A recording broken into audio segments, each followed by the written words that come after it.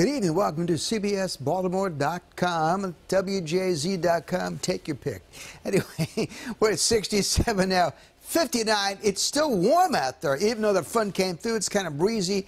It's taken a while for that cool air to move in. Still 43 in Oakland now. It has cooled down to the west. It's 55 in Cumberland and still 68 over in Easton Annapolis, and D.C. It will get chillier tonight as the winds start going back to the north or northwest. Definitely some cooler air will start moving into the region. Right now, not all that strong, but it's out of the north, and that's going to drag in cooler and drier air, at least temporarily. The front went through the air this afternoon. It's slowing down, kind of dissipating. Showers in Virginia. We didn't see a drop of rain here. But tomorrow, winds start going back to the east. Big high pressure north of us. That means the winds off the ocean, increasing clouds. Probably by afternoon, overcast skies, and yeah, maybe some shower activity. A little bit of rain showing up on our futurecast. And again on Sunday, maybe a shower, although the bulk of the day on Sunday looks to be dry. It's Monday afternoon. Some rain moves through the area with that next cold front.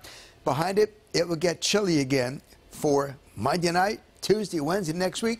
Kind of chilly, actually below normal. On the bay, east winds gust to 25 knots and a small craft advisory on the bay. Tomorrow, sunrise 737, sets at 603. The water temperature about 61. Tonight then clearing, already seeing that cooler 44 by morning. Tomorrow sun, then some clouds, light rain later on, high around 58 degrees, a big difference from today's 76. 68 clouds on Sunday, showers likely on Monday, 73, but down to 43, 58, 37, and 53, 33. Just above freezing. Looks like a big hard freeze Wednesday night and Thursday morning probably get rid of some of the bugs that are out there and certainly will kill some of the plants and weeds that you might have out there. And also any tropicals, any of that kind of stuff, you have to worry about that. But it looks like maybe the real end of the growing season for much of the region on Wednesday night. Have an updated look at the forecast coming up late tonight.